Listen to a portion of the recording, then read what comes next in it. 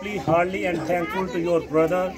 your support, your love gift for to audio Bible distribution to all this Mother Day special to celebration with all the mothers, all the widows and all the children and all the families here right now. And together we have to appreciate and thankful to all your support and your prayer and your support to, for the blessing of God Church Ministry.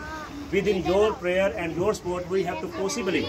share this audio Bible distribution program to all these 15 families right now and we are needed more 20 audio Bible distribution for to next in month or the next in week. I hopefully you will be watch this video and share my message and all the my prayer to be with you and your friends and together we will be make to happiness and share blessing and the love of God and words of God to with all these families. God bless you and God bless you all the families and all my brother and sister. God